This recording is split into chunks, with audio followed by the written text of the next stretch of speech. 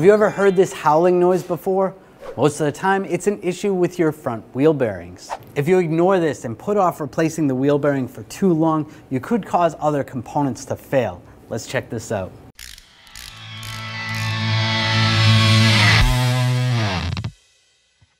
When you have a wheel bearing noise, you can normally hear it when you're turning one direction or another. It either gets louder going to the right or left, and then gets quieter going the opposite direction. That's because of the way the wheel bearing is built on the inside. There's two sets of ball bearings or even roller bearings. One of the harder things is determining which side the bad wheel bearing is on, whether it's on the left or the right side.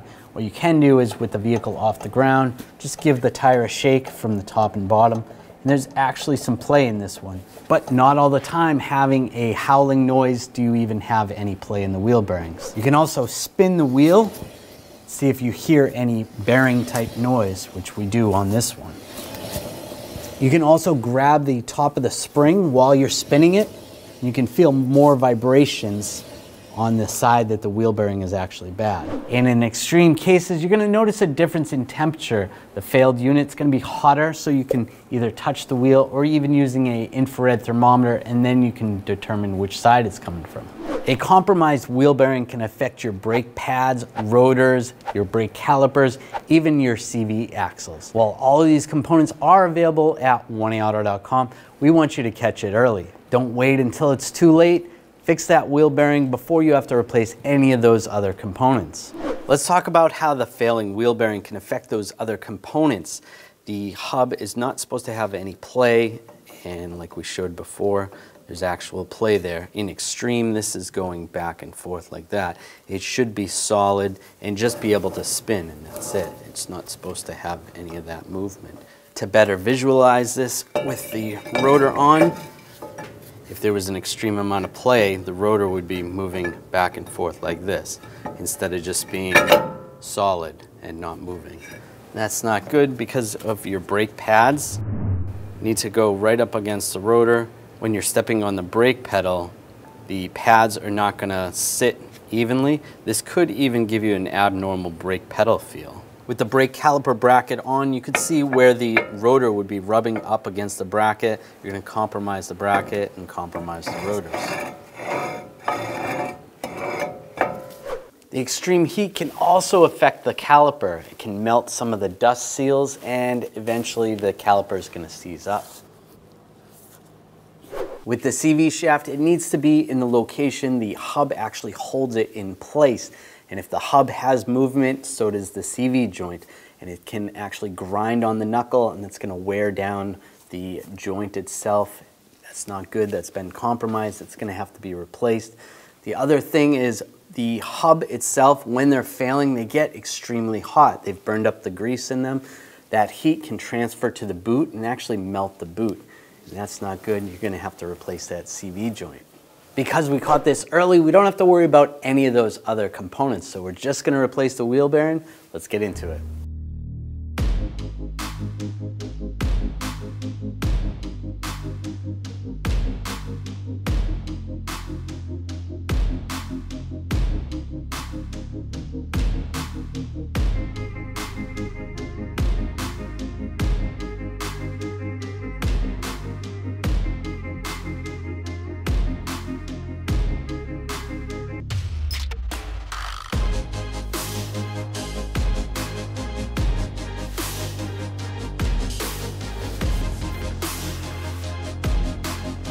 Now with the bearing off, you can see where the axle would actually be grinding on the knuckle if that bearing was bad enough.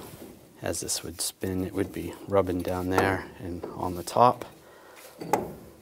Here we can take a good look at the old one and if we spin the bearing a little bit, you can actually feel the vibration and there's a good amount of corrosion on the backside. That's not always the reason why the bearing failed, but it could have happened. Now here we have a press-in bearing. This is gonna be very similar to what this bolt-on bearing looks like.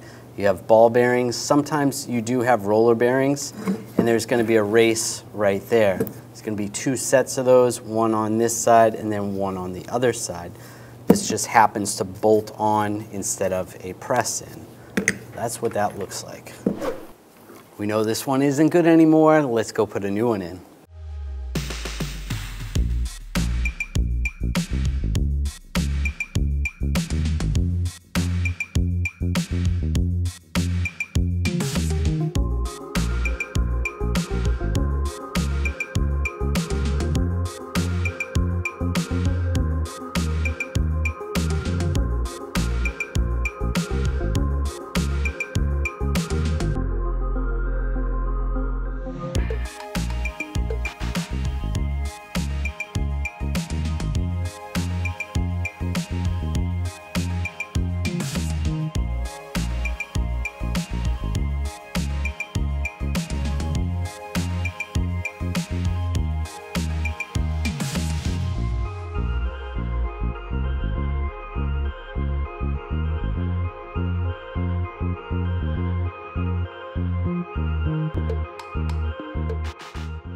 All right, that's all set. No more howling noise. Everything's nice and tight and we didn't ruin any other parts. But if you need any of those parts, you can get those at 1aauto.com.